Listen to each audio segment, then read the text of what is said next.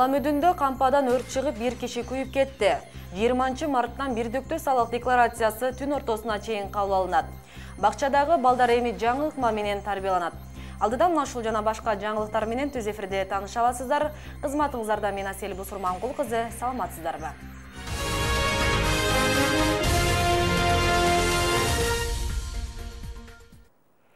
ала мөдүн районунда кампа менен кошо бир киши күйүп кетти. Бул тууралуу өзгөчө кырдаалдар министрлиги билдирди. Маалыматка ылайык бүгүн таңга жук ленин айылындагы алма ата көчөсүндөгү астория соода комплексинин артында жайгашкан кампада өрт чыккан. Телсиз жоодон диван китептер жыйырма беш чарчы метр жыгач болуп күйгөн. Өрт болгон жерден сексен сексен беш жаштагы европа улутундагы эркек адамдын күйгөн сөгү табылды деп жазылат маалыматта. Каза болгон жарандын өздүгү жана өрттүн себеби такталууда ички иштер министрлиги диний экстремизмди жайылткан порнографиялык жана башка сүрөт тасма жана тексттердин жарыялануусун көзөмөлдөшөт. Эгер мындай мазмундагы материалдар маалыматтык сайттарда жарык көрсө алар сот жообуна тартылып сайты жабылат. Бул тууралуу ички иштер министрлигинин маалымат кызматы кабарлады. Буга чейин социалдык тармактарда жазган пикирлери үчүн бир нече адам укмкга сурак беришкен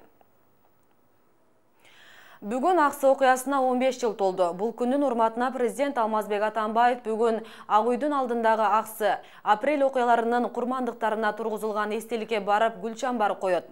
Президенттік аппаратты малматтық қамсыздо бөлімінің басшысы Алмаз Үсенов білдіргендей, Ақсы районындағы іс-шараға басшы басшысы Орынбай Жиенбеков менен президенттік аппараттың басшысы Сапар Исақов барып қатысады.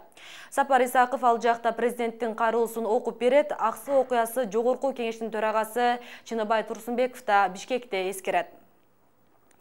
Жыйырманчы марттан бирдиктүү салык декларациясы түн ортосуна чейин кабыл алынат. Салык кызматы отуз биринчи мартка чейин майрам жана дем алыш күндөрүн кошкондо саат тогуз нөл нөлдөн жыйырма төрт нөл нөлгө чейин кабыл алынат. Декларацияны иш убактыларында тапшырууга жетишпей калган салык төлөөчүлөр аны он сегиз нөл нөлдөн кийин тапшыруу мүмкүнчүлүктөрү бар. Эске салсак биринчи апрелге чейин жеке жактар эки миң он алтынчы жылы алынган кирешелер же кыймылсыз мүлк экономикалык ишмердиктери тууралуу жана маалыматтар жөнүндө салык органдарына отчет берүүлөрү керек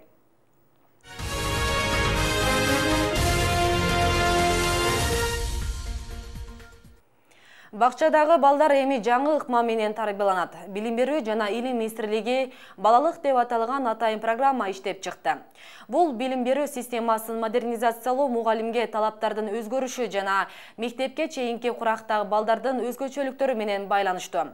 Программа баланын талаптарын жана мүмкүнчүлүктөрүн аңдап билүүгө арналды деп айтылат билдирүүдө. Кыргыз жана орус тилиндеги программа жана методикалык колдонмолор бардык бала бакчаларга жана педагогикалык окуу жайларга жеткірілді ош облустук балдардын ооруканасы коррупциялашып кетти. Балдарын текшертүүгө келгендердин ар биринен жок дегенде элүү сомдон талап кылышат. Мындай айыпты бейтаптардын ата энелери тагып жатат. А бирок ооруканада төрт айдан бери талон менен кабыл алуу системасы ишке кирип жолдомосуз келгендер кассага отуз үч сомдон төлөө милдеттендирилген. Деген менен айрым ак халатчандар жаңы системага баш ийбей дары дармек жазып берген үчүн дагы акы сурап жатканын оштуктар ачыкташты. Чын эле оорукана коррупциялашып кеткенби нуржамал баргыбаева иликтеген бул жаран кечээ ооруканага баласына аллергия чыгып кетип барган анда алгач кассага отуз үч сом төлөп кезеги келгенде дарыгерге киришиптир жыйынтыгында аллергияга каршы укол дарыларды жазып берген ак халатчан кызмат катары жүз сом талап кылган каарманыбыз отуз үч сомго алган талонун көрсөткөнүнө карабай акчаны берүүгө аргасыз болдум дейт квитанцияны талон менен колуман алып койду дагы столдун үстүнө наракка катып коюп анан консультациясын берип бүтүп сен мага жүз сом төлөп кой деді да. Эмне себептен биз квитанциясы менен кирдик го десек мен сага консультация берип атпаймынбы? Дарылардын атын жазып берип атам да деп. Анан менден кийин канча адам турат эле аларга дагы ушинтип менен мурункуларга дагы ушинтип жүз сомдон алып аткан экен да бул окуя балдардын ооруканасында катталган бир эле көрүнүш дегени менен мындан башка кайрылгандардан дагы акча сураган ак халатчандар бар экен. Ал боюнча көбү ачык айтууга батынбады. Ал эми кээ бирлер текшерүүдөн өтүү үчүн кассага отуз үч сом ошол эле учурда дарыгерлерге өзүнчө акча берип жатабыз деп нааразы болушту. Кассага акча төлөгөнүм жок өзүгө бердим кийин өзү беш жашап кетсе мүмкүн эмес да. Биз адамы манагы закон да. Элүү сомдон алып атат баардыгы сурамасам берет да дейм эмнеге көргөнүгө да ушундай бул абал боюнча оорукана жетекчисинин дагы айта турган жообу даяр. Ал өкмөттөн чыккан токтомдун негизинде жолдомосуз келгендерден отуз үч сомдон акча алуудабыз деди ал программа боюнча саламаттык сактоо министрлиги кабардар чогулган каражат болсо кызматкерлердин айлык акысына кошумчаланат экен а бирок үй бүлөлүк борборлордон жолдомо алгандар менен жатып дарылангандар он беш жашка чейин акысыз текшерилет значит направление жок болсо отуз сом төлөп туруп бара берет специалистке жазат специалист барып көрүп туруп көргөндөн кийин значит аны узиге жөнөтөбү дагы бирөө невропатолог консультация жөнөтөбү башкага жөнөтөбү анан ошол алардын да компьютерге түшөт ал эми дарыгерлер текшерүүгө өзүнчө акы сураган фактыларга беш кол бирдей эмес деген мааниде жооп узатты. Бул болсо чын эле айрым ак халатчандар пара алат дегенди билдирет өңдөө анткени менен мындай көрүнүштүн жоюлбай жатышына укуктарын колдоно билбеген тургундардын өзү күнөөлүү экен. Врачка жазылдыңбы неме өзү өттүңбү э, төлөдүңбү төлөгөн анын квитанциясы бар очереди бар а наркы врачка барганда анан ал бердесе эле бере. Береби бербеш керек биз дагы врачтар менен сүйлөшүп атабыз белгилей кетсек облустук балдар ооруканасында соңку жылдары коррупцияда айыпталып кызматынан кол жуугандар болгон эмес ага карабай жетекчилик тыкыр көзөмөлдү жандантабыз деп убадалады ал эми жарандар арасында мындай окуяга күбө болгондор бар болсо арыз дептерлерине жазып калтырууга мүмкүн нуржамал баргыбаева арген калыбек уулу ынтымак эми спорт жаңылыктарынан. Волейбол боюнча кыргызстан курама командасы азия чемпионатында катышат.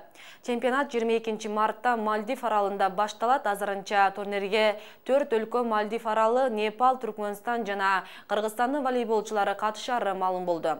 Ал эми калган өлкөнүн спортчулары мелдешке катышары азырынча анык эмес. Эске салсак бул чемпионат үчүнчү ирет өткөрүлүүдө биринчи жолу болгон турнирде түркмөнстан баш байгени алса былтыр бангладеш борбору даккада өткөн азия чемпионатында талай элери биринчи орунду ал эми кыргызстандык волейболчулар экинчи орунду алган болчу. Сиздер кабарлардын күндүзгү чыгарылышына күбө болдуңуздар. Ушул жана башка жаңылыктар биздин сайтка да жайгаштырылды. Ынтымак чекит kg сайты андан кыргыз орус өзбек тилдеринде маалыматтар менен тааныша аласыздар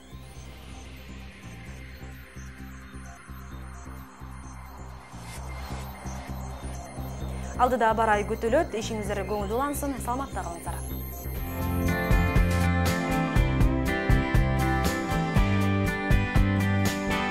аба ырайы маалыматынын демөөрчүсү тудей соода маркасы тудей кофеси чыныгы сулуулуктун жакшылыктын жана ден соолуктун символу шаардагы бардык соода түйүндөрүнөн тапсаңыздар болот